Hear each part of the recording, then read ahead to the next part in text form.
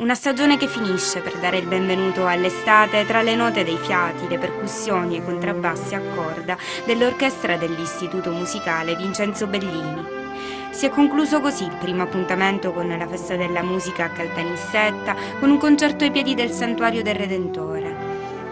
Cinque i brani suonati dagli oltre 70 componenti dell'orchestra guidati dal maestro Angelo Ricalsi, che durante l'esibizione non è riuscito a contenere l'emozione, un desiderio che ha realizzato grazie ad una forte ed efficiente collaborazione non solo con gli allievi e i componenti del direttivo, ma anche con la Proloco di Caltanissetta. Quest'anno insieme al Presidente del Consiglio di amministrazione abbiamo voluto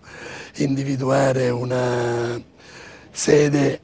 che rappresenta il simbolo della, della città di Caltanissetta per cercare di dare un primo input per iniziare alla valorizzazione di questo bellissimo monte che va fluito a pieno regime da tutti i cittadini di Caltanissetta.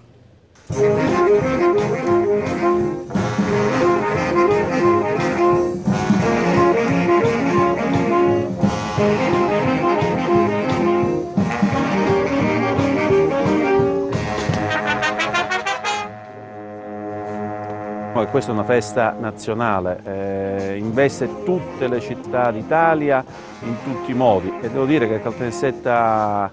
eh, si sta facendo valere in, in, merito a questo. Diciamo che questa organizzazione è un'organizzazione che ci è costata anche dal punto di vista economico, ma eh, la nostra città merita questo. Eh, vorremmo poter fare di più, ma insieme a tutte le altre istituzioni, valorizzare quei luoghi che purtroppo spesso e volentieri anche con motivazioni non eh, facilmente giustificabili, sono chiuse. Una passione che mi accompagna fin da ragazzino, dalle mie prime esperienze con la banda del paese, alla partecipazione dell'orchestra dell'Istituto Vincenzo Bellini, ha raccontato ai nostri microfoni il musicista Calogero Contino. E adesso sono entrato al conservatorio, di cui faccio parte attivamente da sei anni